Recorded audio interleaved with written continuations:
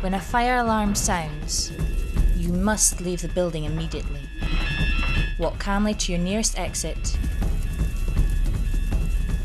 Do not stop to collect personal belongings.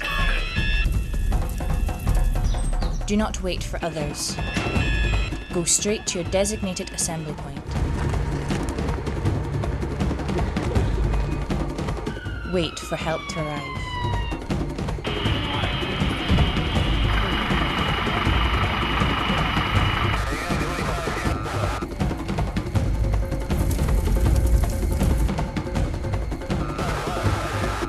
Fires take hold in a matter of minutes. It's vital you act calmly and quickly.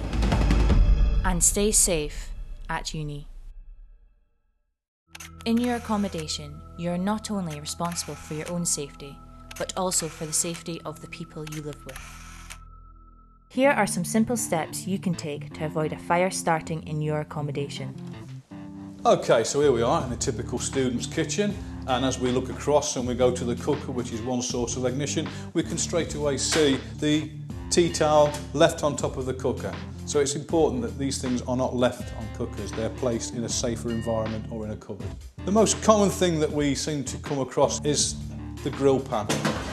But you can see it's slowly building up and we do get sometimes where this is an excessive loading of fat there. And if not cleaned, the fat will build up. If it's left unattended, we will then get a fire occurring. The hygiene is not really the issue. The, the issue in fire safety is that there is a build-up of a, a source of fuel, which in this case is fat.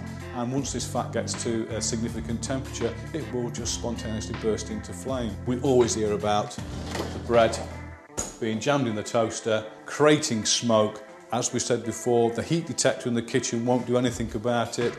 But then as soon as the doors open to the kitchen, out goes the smoke into the corridor and bang, we get an unwanted signal. One of the most serious issues that you can come across is now the detector head being covered up by a plastic bag. The equipment that's designed to give the early warning not only to the occupant but to other occupants of the block that a fire has been discovered cannot work. Okay, here we have it. Fire door keep shut, a common sign that you see on lots of doors in all student accommodation blocks. It's imperative that you follow that instruction. This door is there for your safety.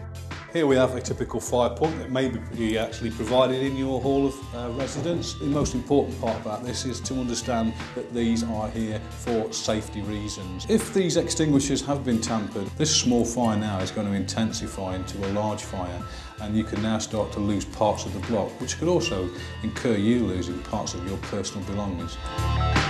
Okay, well that's the tour of a typical student accommodation block where we've just really touched on most of the common fire hazards that you can come across and what we can do to prevent those turning into either actual fires or unwanted signals. So all we ask now is that you apply common sense and then that keeps you safe and us happy. So remember, never leave cooking unattended. Do not wedge fire doors open, they must be kept shut. Never tamper with smoke detectors or firefighting equipment. Ensure you know your evacuation route and assembly point. Some of the banned items at the University of Leeds include candles, heaters, chip pans, fairy lights, electrical items that do not meet UK safety standards. Always evacuate the building when an alarm sounds, even if you think it's a false alarm. Students and residences on campus should report the fire alarm activation to university security, followed by the fire brigade. Students and residences off campus should report the fire alarm activation to the fire brigade, followed by university security.